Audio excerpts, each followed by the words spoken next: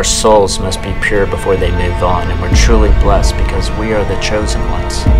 We're so very close.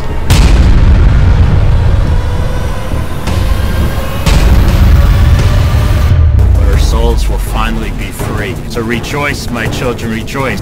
Today is the day that we leave the planet Earth behind.